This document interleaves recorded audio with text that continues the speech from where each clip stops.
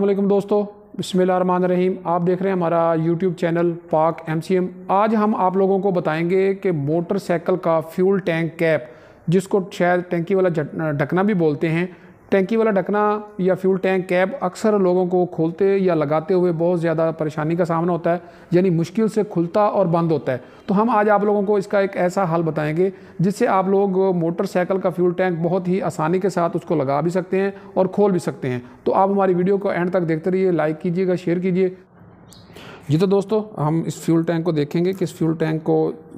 Cap को खोलना बहुत ही मुश्किल जो है, वो नज़र आ रहा है हमें कि ये बहुत मुश्किल से खुल रहा है,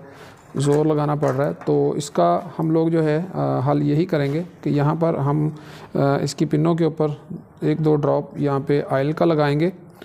आयल ड्रॉप लगाने से ये ही फ्यूल टैंक जो है, वो आसानी के साथ जो है, वो लग जाएगा।